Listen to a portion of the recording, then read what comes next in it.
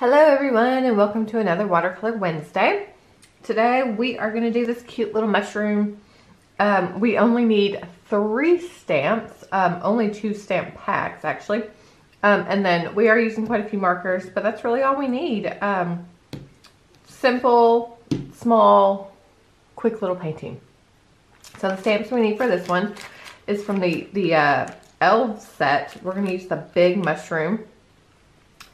And then in the foliage set four, we're going to use the two like wispy grasses. And that's all we need. Our painting is on a uh, three by three piece of paper. And then for our colors, we have quite a few colors for this one. So we'll use number 45 sepia, uh, number 17 steel blue, number 6 brown, number 43 brilliant, I'm sorry, brilliant yellow, number 89 persimmon, uh, 86 African violet, number 28 English red, and then number 15 olive green. So again, we have quite a few markers, but only three stamps. So let's get started. We're gonna start with our big mushroom and we're gonna ink it in two parts. Start with the African violet and ink the entire mushroom.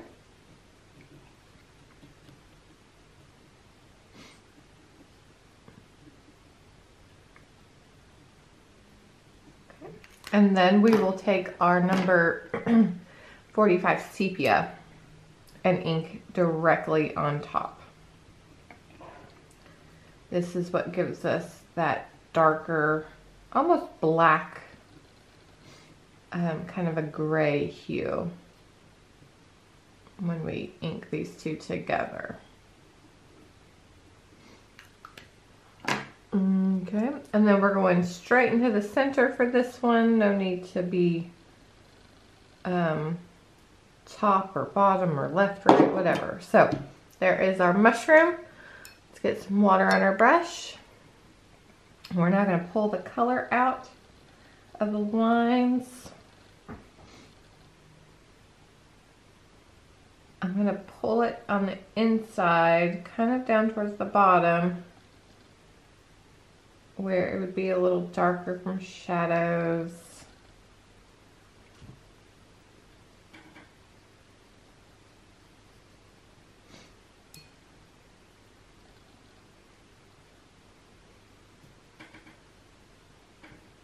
You can add a little bit of shadow to the top if you'd like. And then down here, just kind of touch the lines. You don't want to completely paint it in, but we do know since it's the underneath section that it would be, you know, pretty dark because it's under the mushroom. Come down our sides here.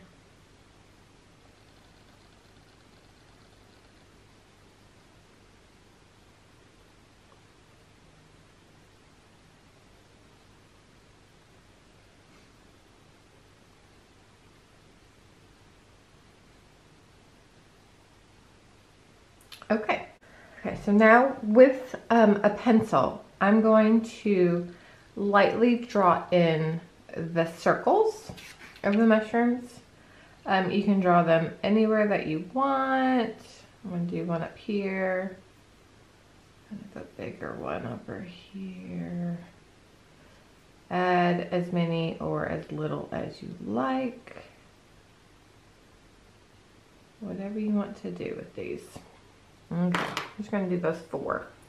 So now I'm going to take um, the persimmon, put some on my palette, and we're going to paint in the mushroom. With this red, you're going to have to paint it quite a few times to make it look red and not just pink. So we will start with one coat on the mushroom cap before we move on to anything else of the mushroom. And that way it will dry and we can add our multiple layers to make it look darker. mushrooms in the wild are pretty dark. Kind of brighter, but they're very saturated red. I actually had no idea that these mushrooms even were real. I thought just people made them up. I don't know why until we moved to here to Germany. And I saw them in the wild and like sitting on the side of the road when I was taking the girls to school one day and you say like how excited I was that I wanted to pull over on the off ramp and take a picture because I really had no idea that these were legit mushrooms in the world. I, I guess I don't study mushrooms enough. I hope I'm not the only one that didn't realize that these red capped with white dot mushrooms were real. But anyways, okay. So there's one coat. I kind of went back and went a, a quick second coat over it because it dried really fast. So now we're going to move on to our, the base of our um, mushroom. And I'm going to take the number six brown and put that on my palette. And this is going to be kind of the majority of the base. So dip your brush, pinch it off, get some, and then we're going to kind of just come in, paint along the bottom here leave some white. Um, you don't have to paint the whole thing. You can paint more. Darker in some areas.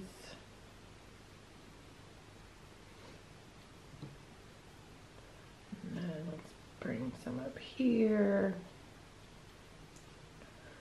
and then we're just going to kind of touch it under here, but again, I don't want to paint in like the whole underside of the mushroom. You know, where it's small and towards the base of the mushroom will be pretty dark. Um, and then we'll just kind of feather it out. Okay, so I'm going to go back over this now. And to make it a little darker.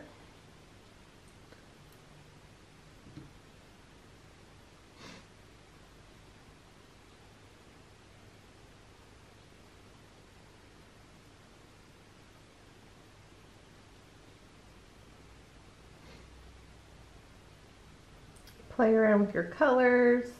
They don't have to be a red mushroom. They can all be like an all creamy brown, like a normal mushroom. Go totally off the cuff. Make like a fairy scene and make just all sorts of a grouping of, of colorful like pinks and purples and blues, you know, whatever, whatever you want to do. Make it your own.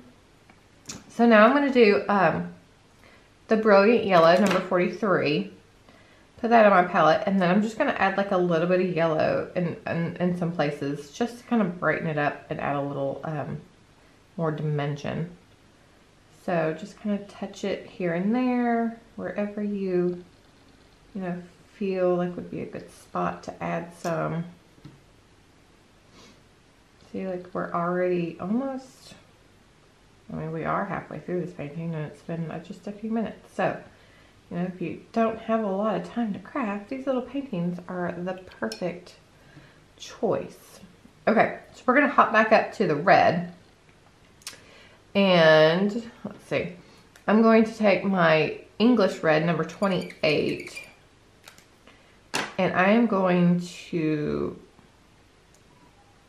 um, use this to make certain areas darker instead of keep going over with that other red. You can keep going over with the other red. If you don't have the English red, you can mix a little of the brown. Um, I would do sepia, mix a little bit of the sepia in with it. And then you could get like a darker red in spots if you don't have the, the English red.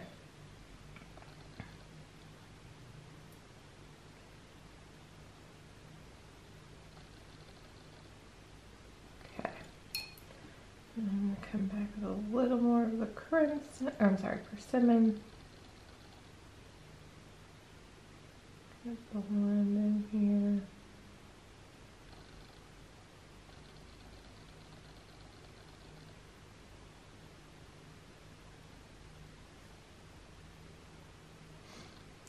Um, I am going to take a little bit of sepia and just go straight sepia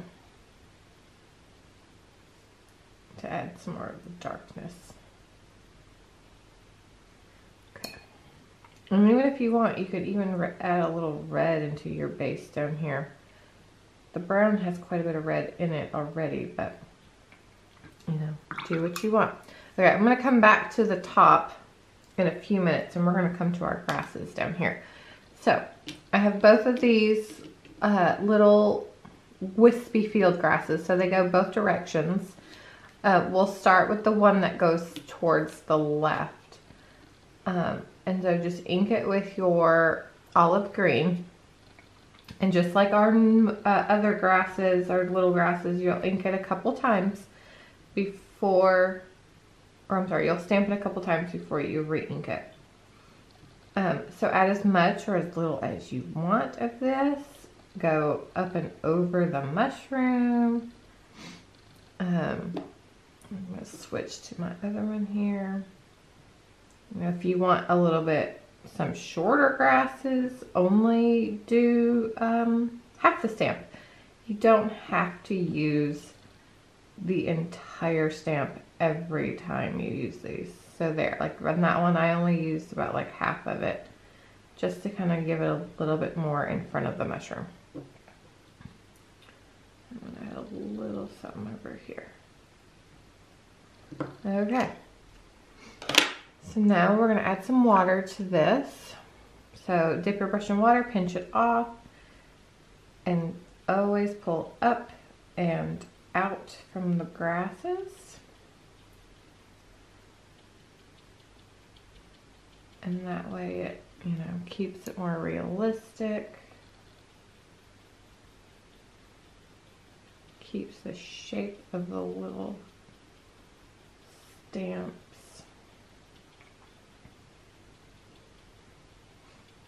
Okay, so I'm going to add some olive green to my palette. I'm just going to paint in uh, freehand a little bit more kind of grass in here. Um, a little bit down here. Not adding a whole bunch. And then I'm actually going to take the sepia and just kind of go over the top of the green and kind of blend it out just to kind of make it more mossy um, dirt like since mushrooms aren't you know always just living in the grass. And then it also just will help give a little shadow underneath. So there we go. Okay. So last time we're going to come back up to our red here. I'm going to take that English red, come again over the area that I want a little darker.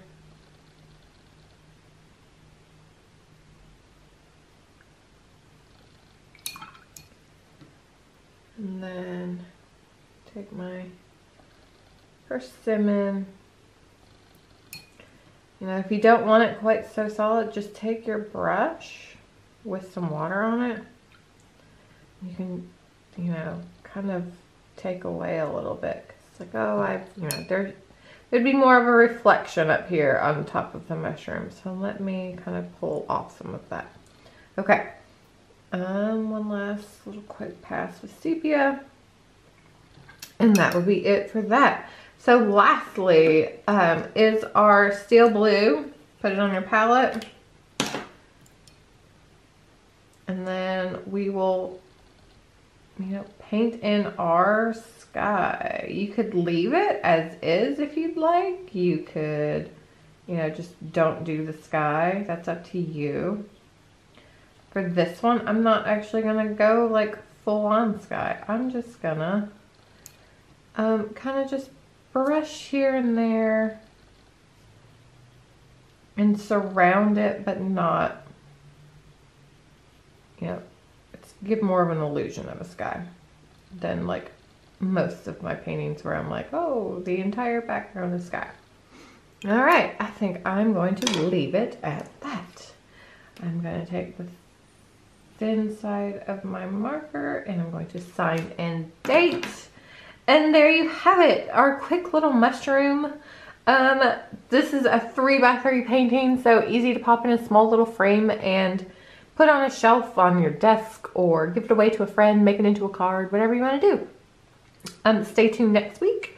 Um, I have a couple exciting paintings coming up. So yeah, um, stay tuned. Have an awesome Wednesday. See you later.